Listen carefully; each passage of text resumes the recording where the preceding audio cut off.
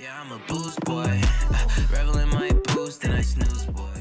Who is Rocstaryoshi?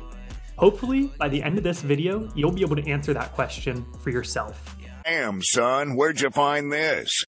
I came up from nothing, I be life and it's like ha ha. That's the one that touched me, know I gotta keep the Rocstaryoshi is a 23 year old artist born and raised in Arlington, Texas.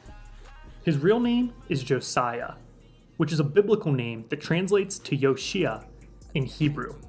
And he combined that with his rock star lifestyle to come up with Rocstaryoshi. Rockstar Yoshi had always been musically inclined and can play multiple instruments. He even played the cello in fifth grade orchestra. Growing up, he listened to a lot of scene music, getting into the rock genre in junior high because a girl he liked listened to it. He then would continue to listen to bands like Bring Me the Horizon and Pierce the Veil.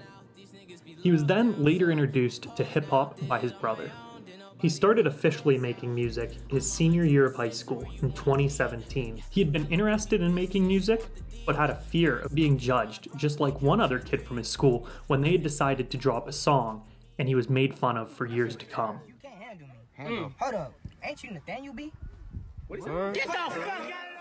Although he's from Texas, he began to notice that he was doing really well with streaming in areas like Chicago, Miami, and Atlanta. In 2019, he had his first song really take off Crazy in Love, which at the time he was between releasing that or another song. He played both for a friend, hoping to get feedback and help deciding which one to release at the time, and the friend recommended that he release Crazy in Love. Yeah.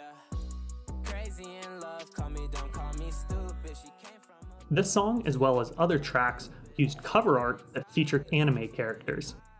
His top two animes are Hunter X and Blue Exorcist. The first song that I came across was Girls on Molly at the end of 2020. When I first came across the song, it reminded me a little bit of Lil Skies, with the clear enunciation of his lyrics with the beats that can seem a little overwhelming at first, but it's paired great with his delivery and also complements his rhyme schemes. And I feel like even during the golden age of SoundCloud in 2016, when we were bombarded with amazing new sounds, his music would still make waves and stand apart. He credits inspiration of his sound to Lil Uzi and Young Thug, with Uzi's sound drawing him more towards the melodic side for his own music. Rocstaryoshi describes his sound as NASA rap, saying that the beats on his songs can make you feel like you're gliding through a nebula.